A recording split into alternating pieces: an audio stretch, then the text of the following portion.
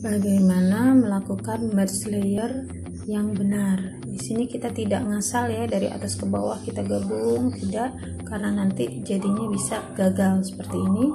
Maka kita uh, gabungkan, kita merge secara bertahap.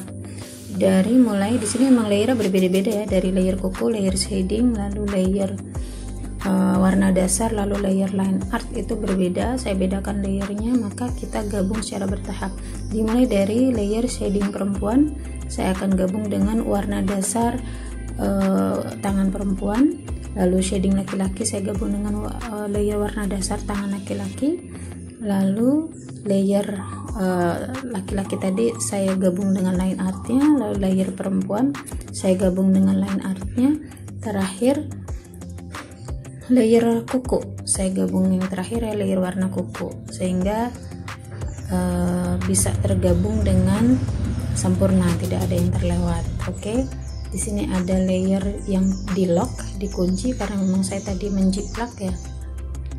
Ini tidak bisa diapa-apakan kita off kan saja. Begitu juga layer satu tadi belum sempat saya ini kita off kan oke okay.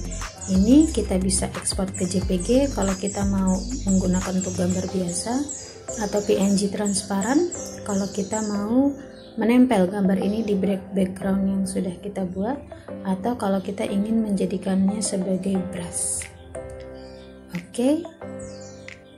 dan uh, selesai kita save